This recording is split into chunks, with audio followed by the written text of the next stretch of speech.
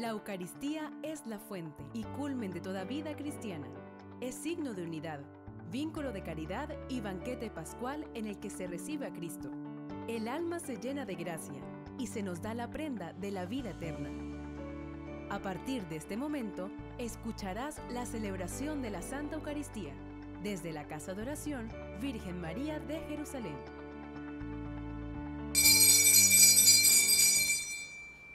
Queridos hermanos, les damos la más cordial bienvenida a la casa de Dios para celebrar juntos esta Santa Eucaristía. Hoy celebramos la fiesta de la presentación del Señor.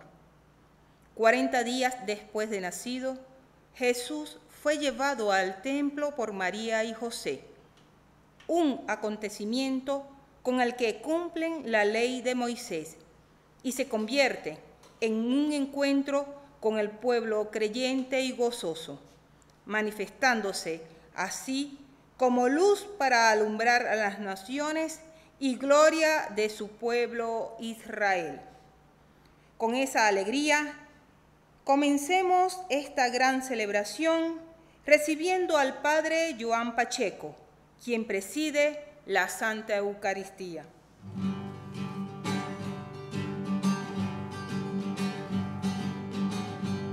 El Señor es mi luz y mi salvación. El Señor es la defensa de mi vida. Si el Señor es mi luz, ¿a quién temeré?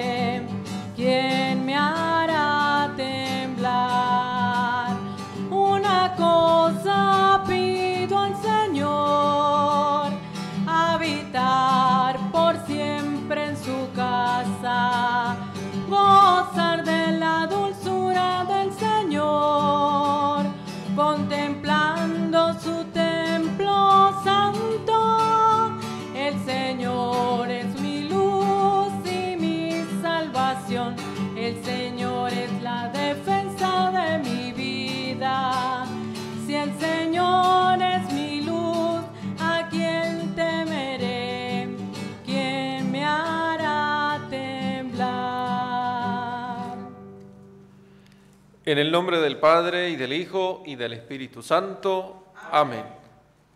La gracia y la paz de parte de Dios nuestro Padre y de Jesucristo el Señor esté con todos ustedes. Hermanos, hace 40 días celebramos con júbilo el nacimiento del Señor. Hoy también la iglesia está de fiesta al celebrar el día en que Jesús fue presentado en el templo por María y José. El Señor quiso sujetarse a este rito para cumplir con las exigencias de la ley, pero sobre todo para manifestarse al pueblo que lo esperaba. Impulsados por el Espíritu Santo, fueron al templo aquellos dos ancianos, Simeón y Ana, e iluminados por el mismo Espíritu, reconocieron al Señor y lo anunciaron a todos con entusiasmo. También nosotros que formamos el pueblo de Dios por la gracia del Espíritu Santo, vayamos al encuentro de Cristo en la casa de Dios.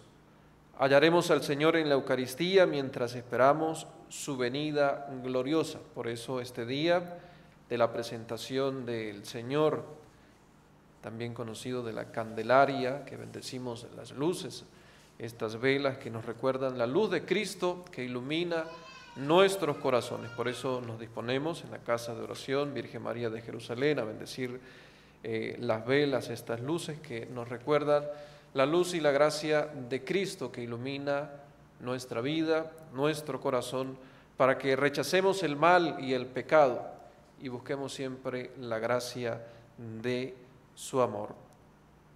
Oremos.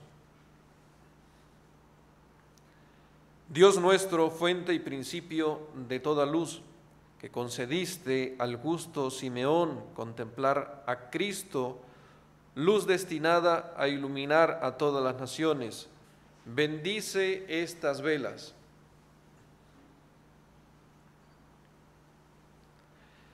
con la que tus fieles van a ir a tu encuentro en medio de himnos y de alabanza. y escucha su oración a fin de que por el camino del bien puedan llegar a la luz inextinguible. Por Jesucristo nuestro Señor. Amén. Podemos apagar las velas. Y en ellas recordamos nuestras intenciones también para esta Eucaristía, para esta celebración, las intenciones de quienes nos acompañan a través de Radio Natividad, unidos todos a la jornada nacional de oración por Venezuela, jornada de oración y reflexión para vivir y fortalecer nuestra esperanza. También el día de la vida consagrada encomendamos a nuestros hermanos y hermanas religiosos, religiosas, a nuestro seminario Santo Tomás de Aquino, que el 2 de febrero ha celebrado sus 96 años de fundación. También celebramos esta Eucaristía en acción de gracias por los 28 años de Benetubos, benefactor de Radio Natividad y de la Casa de Oración Virgen María de Jerusalén. Que Dios le siga concediendo abundantes dones espirituales y materiales.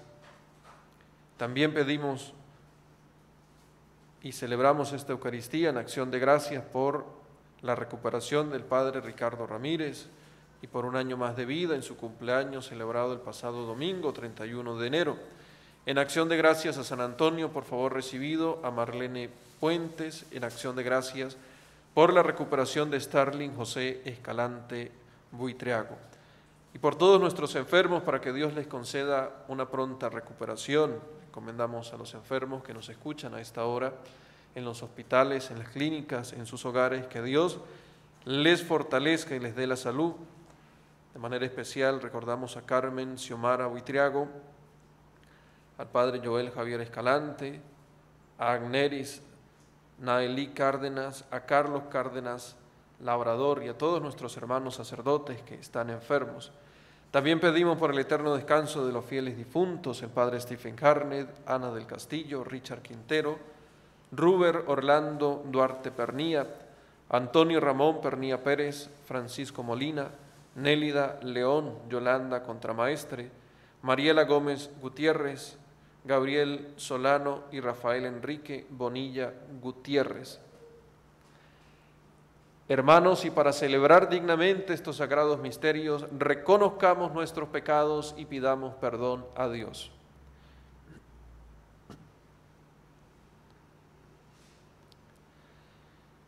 Yo confieso ante Dios Todopoderoso y ante ustedes, hermanos, que he pecado mucho de pensamiento, palabra, obra y omisión, por mi culpa, por mi culpa, por mi gran culpa. Por eso ruego a Santa María, siempre Virgen, a los ángeles, a los santos y a ustedes, hermanos, que intercedan por mí ante Dios nuestro Señor. Dios Todopoderoso tenga misericordia de nosotros, perdone nuestros pecados y nos lleve a la vida eterna. Amém.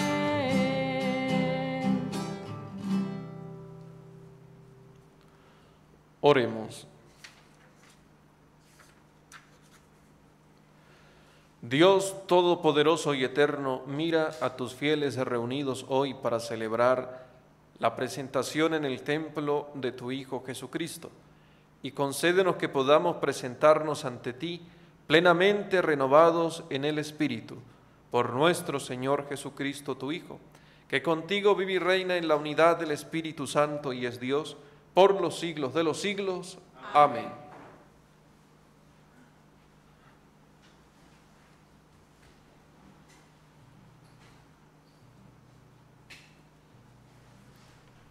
Jesús, tomando posesión del templo de Dios, es el tema que ofrecen las lecturas de hoy.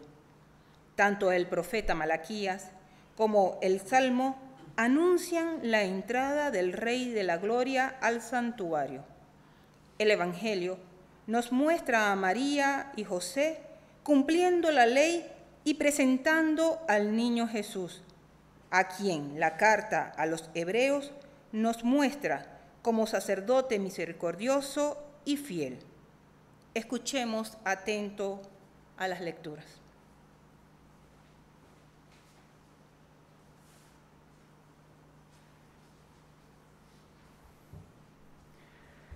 Lectura del libro del profeta Malaquías. Esto dice el Señor, He aquí que yo envío a mi mensajero. Él preparará el camino delante de mí. De improviso entrará en el santuario el Señor, a quien ustedes buscan, el mensajero de la alianza a quien ustedes desean. Miren, ya va entrando, dice el Señor de los ejércitos. ¿Quién podrá soportar el día de su venida? ¿Quién quedará en pie cuando aparezca? Será como fuego de fundición, como la lejía de los lavanderos. Se sentará como un fundidor que refina la plata, como la plata y el oro. Refinará a los hijos de Leví y así podrán ellos ofrecer, como es debido, las ofrendas al Señor. Entonces agradará al Señor la ofrenda de Judá y de Jerusalén, como los días pasados, como los años antiguos. Palabra de Dios.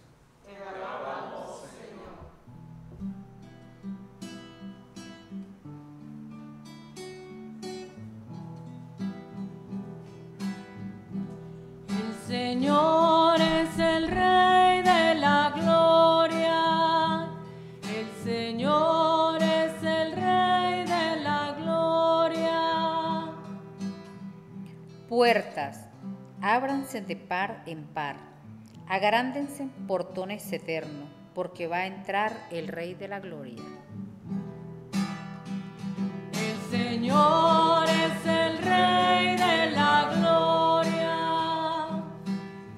¿Y quién es el Rey de la Gloria? Es el Señor, fuerte y poderoso, el Señor poderoso en la batalla.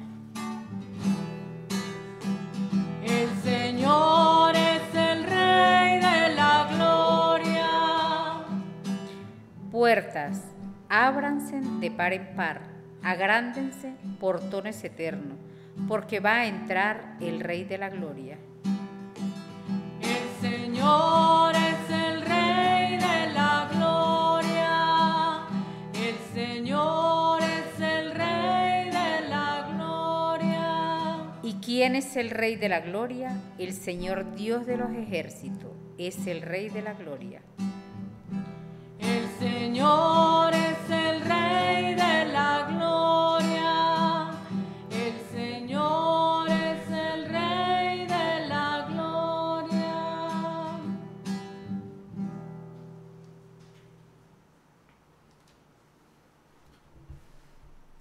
De la carta a los hebreos. Hermanos, todos los hijos de una familia tienen la misma sangre. Por eso Jesús quiso ser de nuestra misma sangre, para destruir con su muerte al diablo, que mediante la muerte dominaba a los hombres, y para liberar a aquellos que por temor a la muerte vivían como esclavos toda su vida. Pues como bien saben, Jesús no vino a ayudar a los ángeles, sino a los descendientes de Abraham.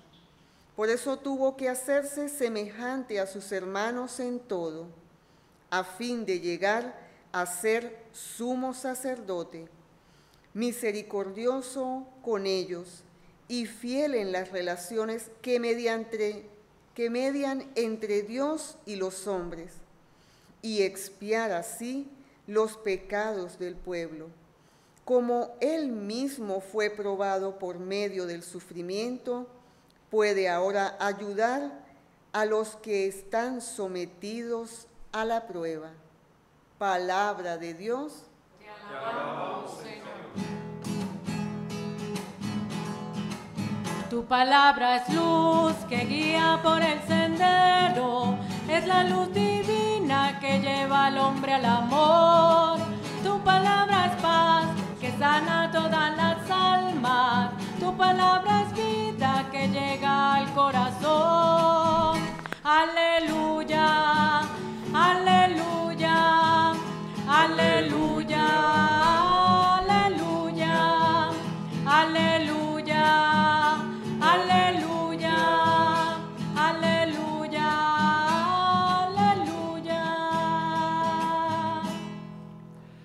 El Señor esté con ustedes.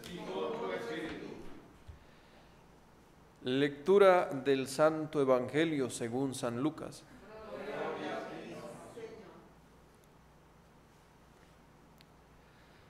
Transcurrido el tiempo de la purificación de María, según la ley de Moisés, ella y José llevaron al niño a Jerusalén para presentarlo al Señor, de acuerdo con lo escrito en la ley.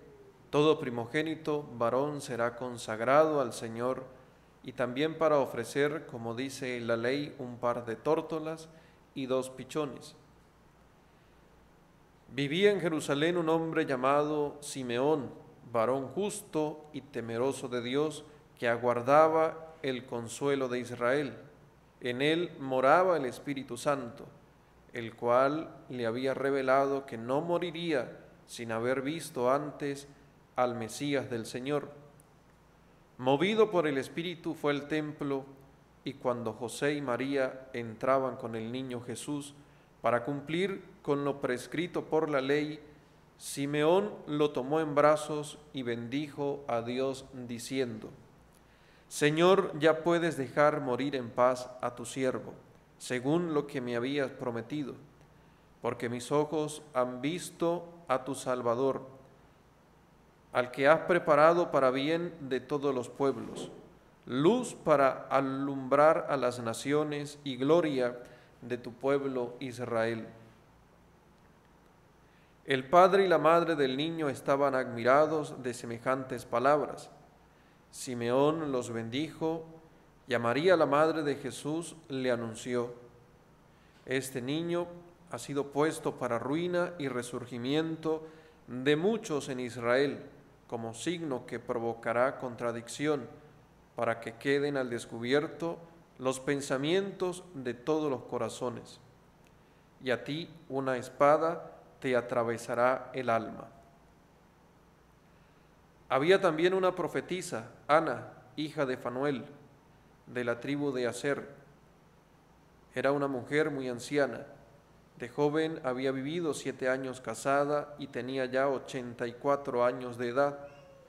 No se apartaba del templo ni de día ni de noche, sirviendo a Dios con ayunos y oraciones. Ana se acercó en aquel momento dando gracias a Dios y hablando del niño a todos los que aguardaban la liberación de Israel. Y cuando cumplieron todo lo que prescribía la ley del Señor, se volvieron a Galilea, a su ciudad de Nazaret. El niño iba creciendo y fortaleciéndose, se llenaba de sabiduría y la gracia de Dios estaba con él. Palabra del Señor. Gloria a ti, Señor Jesús.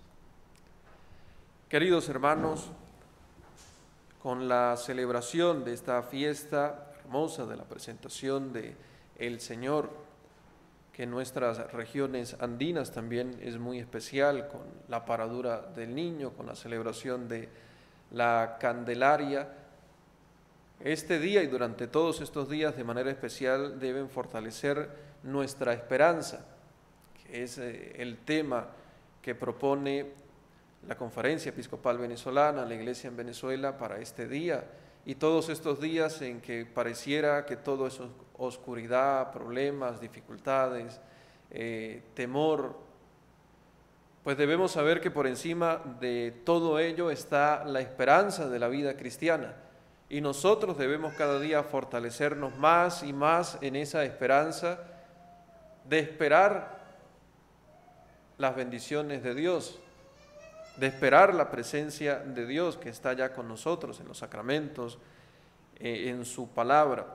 Pero tenemos el ejemplo que hemos escuchado en el Evangelio de San Lucas, capítulo 2, versículos 22 al 40, de Simeón, de Ana, y de los dos comentan que estaban allí de avanzada edad esperando en el templo la venida del Mesías, el Señor, el encuentro con Él y este es un gran ejemplo de fortaleza en la esperanza. Si la palabra de Dios, el Evangelio nos dicen que era de avanzada edad, nos indica que por un largo tiempo estaban esperando y que el Señor no los defraudó, sino que les concedió ese encuentro de gracia y de bendición. Nosotros debemos aprender de ellos la paciencia, la fortaleza en la esperanza y de perseverar eh, en nuestra fe, perseverar en nuestra fe confiando plenamente en las promesas divinas, en las promesas de salvación que se cumplen cada día en nosotros, que se cumplen cuando nosotros, fortalecidos en la fe, caminamos en el nombre del Señor. Hay un signo en esta celebración de la presentación del Señor, que es la luz, que es el fuego, eh, de esas velas bendecidas al comienzo de la ceremonia, que nos recuerda esa luz de gracia de Jesús que ilumina a todas las naciones, que ilumina nuestras familias, que ilumina y fortalece nuestro corazón en medio de la adversidad. Y aún más en este tiempo nosotros debemos estar fortalecidos con esa luz que es la gracia de Dios para no desesperar ante las circunstancias, ante los problemas, sino vivir plenamente la esperanza de Dios, vivir plenamente la esperanza del Señor. Ese encuentro de Jesús con Simeón, con Ana y la entrada de Jesús a, ese antiguo templo es un encuentro, podría decirse, del antiguo con el Nuevo Testamento. Simeón y Ana estaban esperando al Mesías, el liberador de, de Israel, de su pueblo, y reconocieron en Jesús a ese Mesías y Señor. Nosotros pues debemos reconocer también ante la presencia de Dios y cuando participamos de la Eucaristía o cuando en nuestros hogares, en familia o en los momentos personales de oración nos encontramos con el Señor, debemos también reconocer el cumplimiento de las promesas de Dios. Y es allí donde debemos sentir la fortaleza, vivir la fortaleza o buscar la fortaleza, para que podamos decir también como Simeón, Señor, ya puedes dejar morir en paz a tu siervo, porque mis ojos han visto a tu Salvador. Y seguramente muchas veces el Señor nos ha permitido tener esa gracia de encontrarnos con Él. Pero a lo mejor no lo hemos reconocido. En aquel momento de cuando María y José llevaron al niño Jesús a Jerusalén, al templo, muchos no lo reconocieron. Solamente eh, estos dos, Simeón, Ana, y las escrituras nos dicen que era él un varón justo y temeroso de Dios. Ana, que perseveraba siempre en el servicio, con oración y con ayuno. Y cuando María y José lo llevaron al templo para cumplir la ley prescrita, en ese momento ni los sacerdotes ni los que estaban allí alrededor lo reconocieron, solamente estas dos personas, Simeón y Ana, que eran justos y vivían la gracia de Dios, que colocaban y vivían colocaban en práctica y vivían la oración, el ayuno, es decir, se dejaban guiar por el Espíritu Santo. Y tal vez es allí donde nosotros debemos reconocer que debemos fortalecer nuestra vida cristiana para encontrar también al Señor, para reconocerle como eh, lo hicieron Simeón y lo hizo Ana, reconocer ahí a Jesús el Mesías, fortalecer, y vivir aún más nuestra oración, el ayuno, la práctica del ayuno, la práctica de la caridad frecuente y por supuesto dejarnos guiar por el Espíritu Santo. Todos tenemos el compromiso de anunciar el Evangelio de Jesús. Simeón, Ana, al encontrarse con Jesús, luego iban contando, iban anunciando lo que habían visto, la gracia que habían recibido. Es un compromiso que nosotros también debemos asumir, anunciar lo que hemos visto, lo que hemos oído, el encuentro con nuestro Dios, el encuentro con Jesús en su palabra y en la Eucaristía.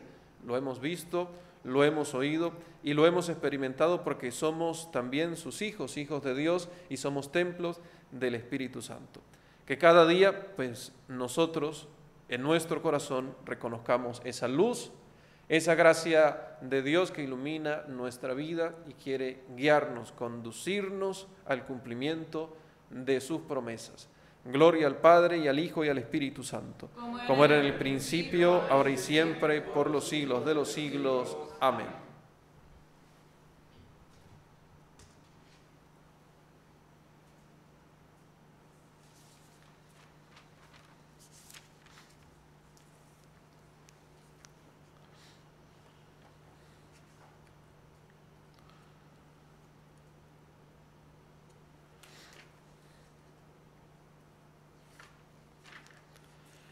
Hermanos, oremos a Dios Padre nuestro, en cuyas manos están los destinos del universo.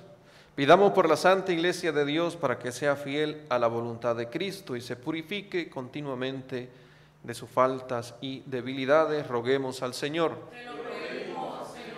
Pidamos por nuestro seminario Santo Tomás de Aquino en sus 96 años de configuración con Cristo, buscando la configuración de tantos jóvenes con Cristo para el servicio de la iglesia, del pueblo de Dios, para que siga siendo bendecido con abundantes vocaciones, roguemos al Señor. Pidamos por la vida consagrada, por quienes se han consagrado al Señor, nuestros hermanos y hermanas religiosos, religiosas, para que Dios les ilumine en su ministerio, en su apostolado evangelizador, roguemos al Señor. Pidamos por quienes dirigen las naciones para que trabajen por la paz del mundo, a fin de que todos los pueblos puedan vivir en justicia y libertad. Roguemos al Señor. Por los pobres y afligidos, por los enfermos a quienes hemos encomendado en esta Eucaristía, por todos los que sufren para que encuentren el consuelo y la salud, roguemos al Señor. Por todos los que participamos de esta Eucaristía, por quienes nos acompañan a través de Radio Natividad, por las intenciones que hemos presentado al comienzo de la celebración, para que Dios nos conceda la paz del corazón, el perdón de los pecados y la firme voluntad de obedecer siempre sus mandamientos, roguemos al Señor. Escucha, Señor, benignamente nuestras súplicas y concédenos lo que pedimos confiados en tu bondad por Jesucristo nuestro Señor. Amén.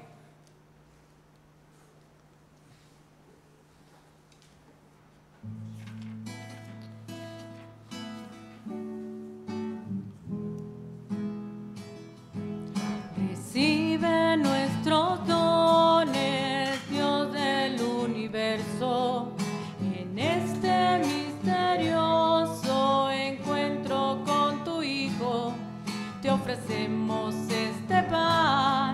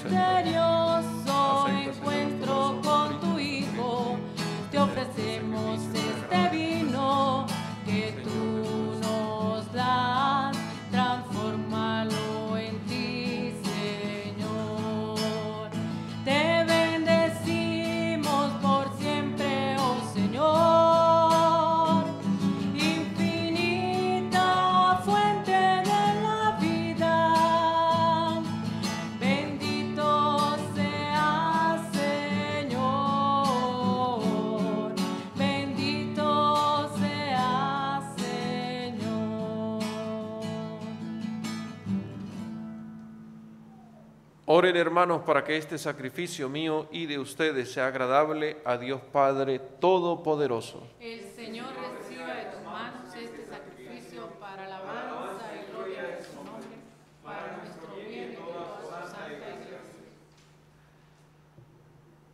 Que te sea agradable, Señor, el sacrificio de tu Hijo único, el Cordero sin mancha, que tú quieres que la Iglesia te ofrezca por la salvación del mundo. Por Jesucristo nuestro Señor. Amén. El Señor esté con ustedes. Y con tu espíritu Levantemos el corazón. lo tenemos levantado hacia el Señor. Demos gracias al Señor nuestro Dios. Es justo y necesario. En verdad es justo y necesario, es nuestro deber y salvación, darte gracias siempre y en todo lugar. Señor Padre Santo, Dios Todopoderoso y Eterno, porque al ser presentado hoy en el templo, tu eterno Hijo fue proclamado por el Espíritu Santo, gloria de Israel y luz de las naciones.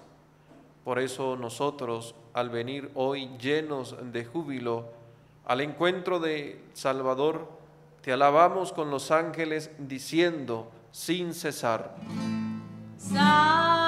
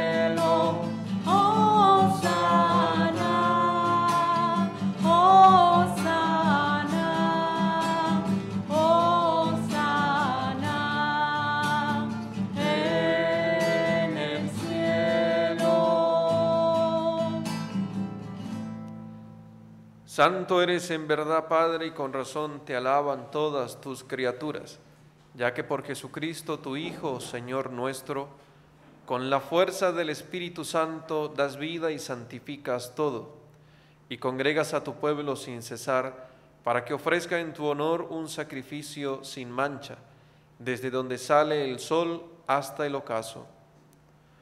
Por eso, Padre, te suplicamos que santifiques por el mismo Espíritu estos dones que hemos separado para ti, de manera que sean cuerpo y sangre de Jesucristo, Hijo tuyo y Señor nuestro, que nos mandó celebrar estos misterios. Porque él mismo la noche en que iba a ser entregado, tomó pan y dando gracias te bendijo, lo partió y lo dio a sus discípulos diciendo, Tomen y coman todos de él, porque esto es mi cuerpo que será entregado por ustedes.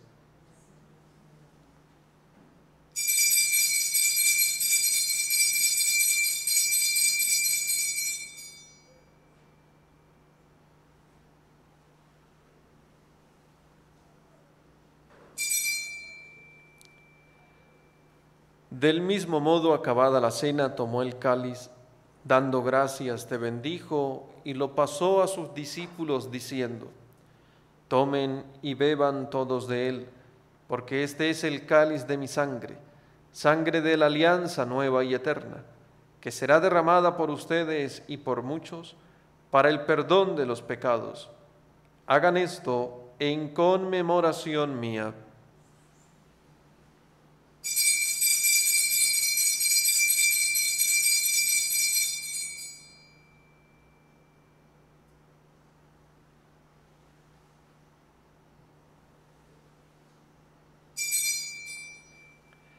Este es el misterio de la fe.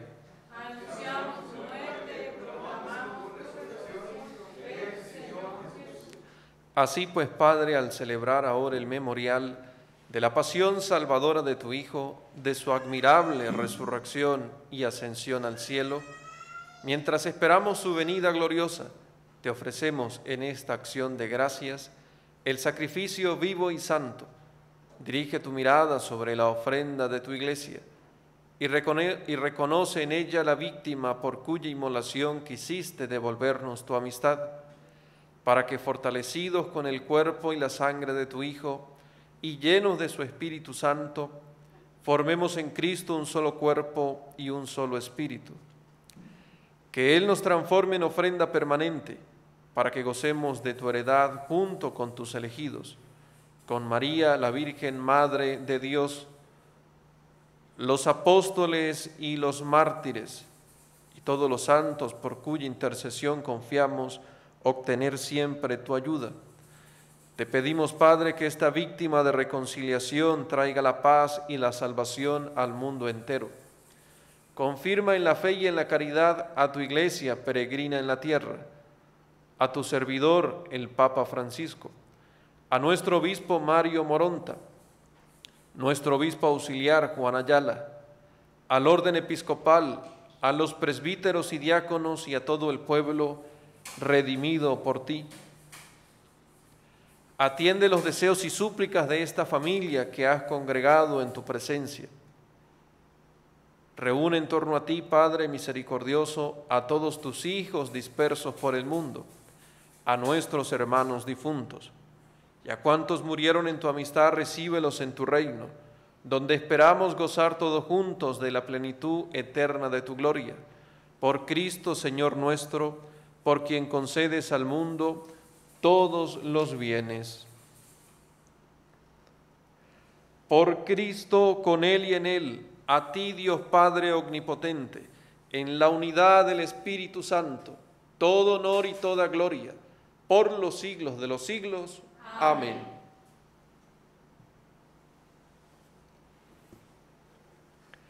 Fieles a la recomendación del Salvador y siguiendo su divina enseñanza, nos atrevemos a decir, Padre nuestro que estás en el cielo, santificado sea tu nombre, venga a nosotros tu reino, hágase tu voluntad en la tierra como en el cielo. Danos hoy nuestro pan de cada día.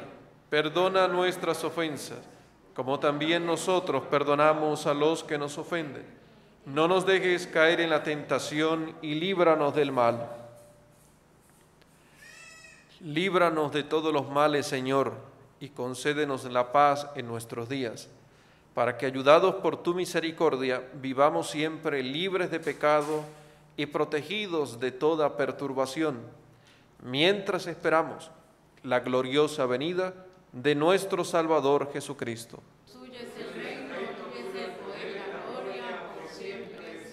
Señor Jesucristo, que dijiste a tus apóstoles, la paz les dejo, mi paz les doy.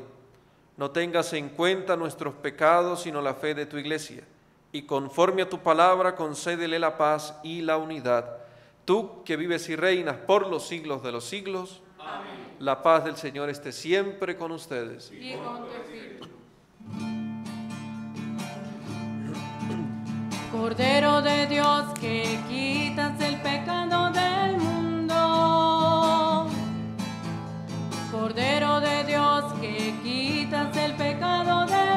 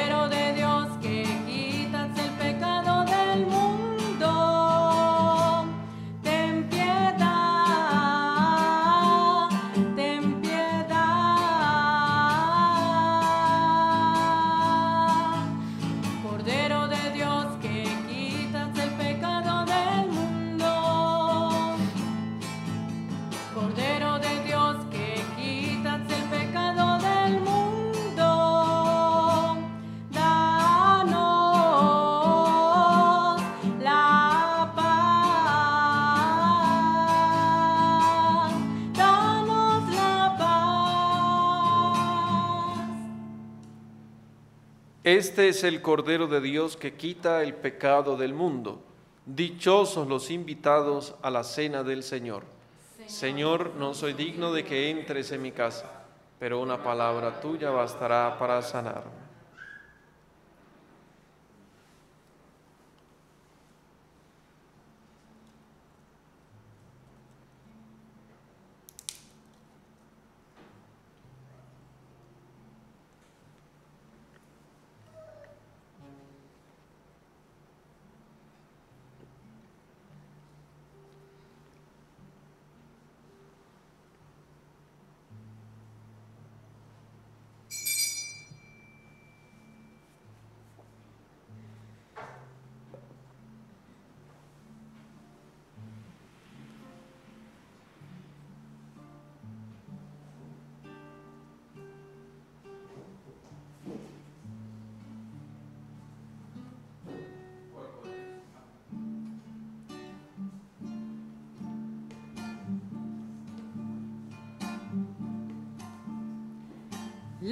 La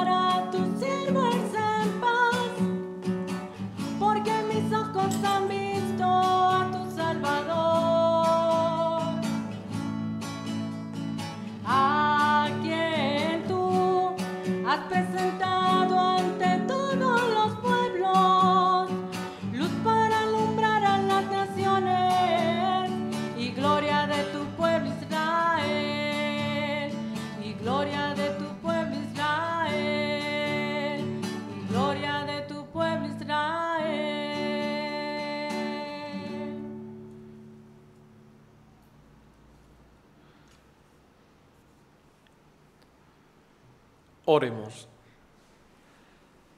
Señor, tú que colmaste las esperanzas del anciano Simeón de no morir antes de ver al Mesías, completa en nosotros la obra de tu gracia por medio de esta comunión, para que sepamos buscar siempre a Cristo en esta vida y podamos llegar a contemplarlo en la eternidad. Por Jesucristo nuestro Señor. Amén. Pidamos a la Virgen María por todos nosotros, por nuestras intenciones, por nuestro seminario, Santo Tomás de Aquino, por sus vocaciones y también por todos nuestros hermanos y hermanas consagradas a Dios. Dios te salve María, llena eres de gracia, el Señor es contigo, bendita tú eres entre todas las mujeres y bendito es el fruto de tu vientre Jesús. Santa María, Madre de Dios, ruega por nosotros pecadores, ahora y en la hora de nuestra muerte. Amén. El Señor esté con ustedes. Y, la bendición de Dios Todopoderoso, Padre, Hijo y Espíritu Santo, descienda sobre ustedes. Amén. Podemos ir en paz. Demos gracias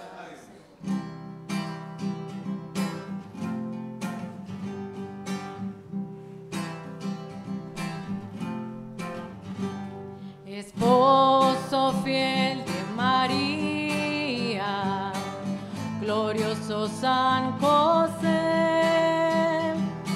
Padre protector de la iglesia, ruega por nosotros, amén. Padre